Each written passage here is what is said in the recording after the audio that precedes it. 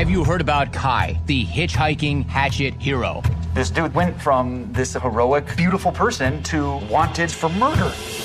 An absolute bizarre scene here in West Fresno. A man plows his car into a PG&E worker, pinning him against his truck. Two women are trying to help him. He runs up and he grabs one of them, man. So I ran up behind him with a hatchet. Smash, smash, smash.